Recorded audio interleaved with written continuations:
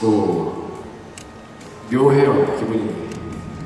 어, 사실 아직은 실감이 확실히 나진 않네요. 근데 아마 오늘이 지나고 한 달이 지나고 시간이 점점 흐를수록 내가 2PM이라는 이름으로 무대에 설 수 없다는 게 시간이 나겠죠. 그렇게 되면 파티스트 여러분들이 굉장히 기억이 날 거고 지금 이 순간이 굉장히 그리울 거라고 생각합니다. 그냥 늘 감사하다고 말씀드리고 싶습니다. 2PM이 데뷔했던 2000 그때부터 지금까지 약 10년 동안 단순히 한 가수만을 좋아하고 계속 이뻐라 하고 우리 오빠 우리 동생 좋아만 해도 모자라지 그 시간에 너무 많은 일들이 있었고 너무 많은 분들이 상처를 받았었죠. 아유, 아유, 알았어, 알았어. 근데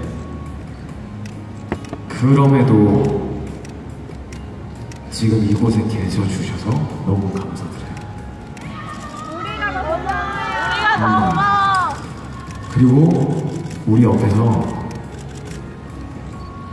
우리를 굳건히 더 만들어 주려고 했던 우리 스태프들한테도 너무 감사드리고 무엇보다 그냥 우리 멤버들이 가장 그 순간 제일 큰 힘이 되어주고 가장 큰 버팀목이 되어줬던 것 같습니다.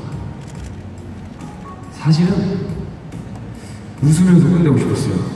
근데 뭔가 마지막이 되니까 더 감사하다는 말씀을 드리고 싶네요. 그러다 보니까 또 이렇게 됐는데, 아, 그냥 제가 늘 입버릇처럼 하는 얘기인데, 끝은 또 다른 시작이라고 생각합니다. 저는 일단은 지금으로서 마지막이겠지만 멤버 한 명 한 명에서 열심히 자기가 선 곳에서 2PM을 위해서 그리고 여러분들을 위해서 노래가 됐든 연기가 됐든 다른 작품이 됐든 간에 끊임없이 여러분들을 찾아뵐 거라고 생각을 하고요.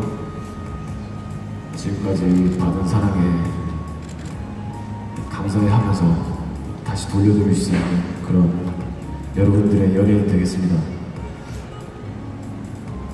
정말 감사드립니다. 10년 동안 고맙습니다.